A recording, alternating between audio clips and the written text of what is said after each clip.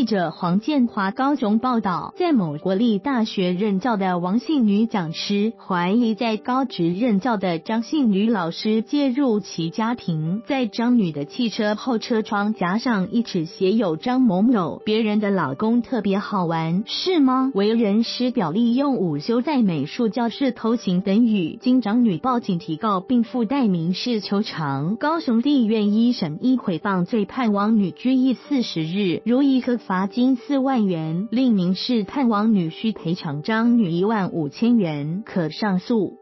判决指出，在某国立大学担任讲师的王姓女子，怀疑在高雄市某高职任教的老公与同校张姓女老师有染，竟于今年三月六日十三时三十二分许，前往张女任教的学校图资大楼旁停车场，将一张列印有张女照片的白纸夹在张女车窗与窗上，白纸并写有张某某别人家的老公特别好玩，是吗？为人师表。利用午休或空堂时间在美术教室偷情做爱，你好意思吗？还威胁我骂我，要告我妨害秘密罪，敬请去告我无所谓，因为我手边的证据足以让你无地自容等文字，造成行经该处之不特定人均可共见共闻，涉嫌诽谤张女友婚外情。